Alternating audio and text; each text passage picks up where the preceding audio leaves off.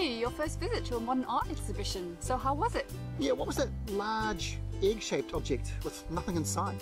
Probably the artist's head. So anyway, what was your favourite work? Well, in 2012 I looked in a delicatessen. Hmm. What about all those rotting vegetables on that large sheet of brown paper? Well, that depicts our mortality and how we are all here for a very short time. When you say here, do you mean the art gallery? What about that neon light stuck in a broken window? Not part of the exhibition. Two artists had a fight. And how about that big pile of earth? It's called Where on Earth. They should call it Why on Earth.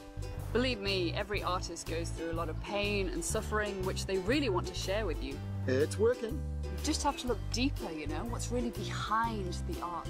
The wall? When you are observing a work of art, you shouldn't be looking for answers, you should be looking for questions.